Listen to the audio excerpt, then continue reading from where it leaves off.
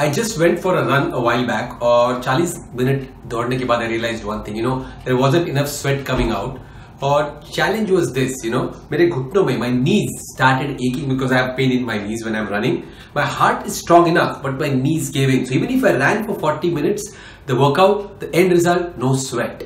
Challenge. What does that mean? That means that I need to first work on my knees well, strengthen my knees, so that you know when I start really running hard, my heart really starts pounding and I start sweating.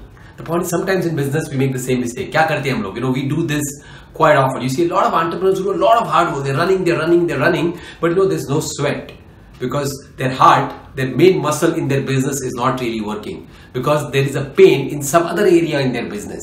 And they're never, although they know that the pain is there in the knee in their business in one area, they're still not solving the pain If you do not strengthen that pain area, you just keep running. क्यों दौड़ रहे हो आप? You दौड़ रहे हो because अच्छा लगता है. I'm running in business. But hey, no sweat, no result. Strengthen that area in your business where there is pain because once that is taken care, that's where results will start coming in. Thank you.